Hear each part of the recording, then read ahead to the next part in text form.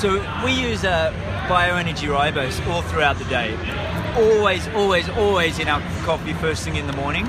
Then we often use it in a recovery drink like a smoothie post exercise, and then often before we go to bed. Um, during long rides, we often take these peak energy mints, which are great because they have the caffeine and with the ribose. Yeah, like Greg said, you know, ribose is a very important part of our day, helping us sustain our energy throughout the day.